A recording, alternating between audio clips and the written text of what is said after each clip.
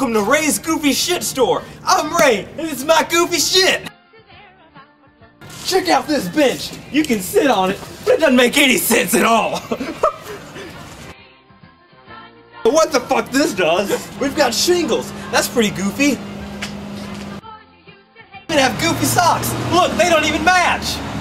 Now I'm gonna send it over to my brother Jesse. Hi, I'm Jesse. Come on over to Jesse's Goofy Shit Shop.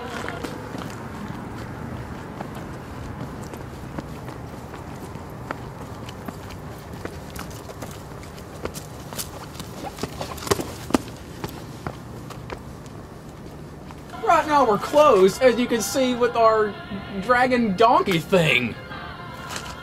Look at this. We got a broken glass sculpture of Elvis, some kind of hippie girl holding the black ball, and a clock made out of computer parts. And it goes back and forth. Come to Ray And Jesse's Goofy Shit Shops, located on Highland Avenue.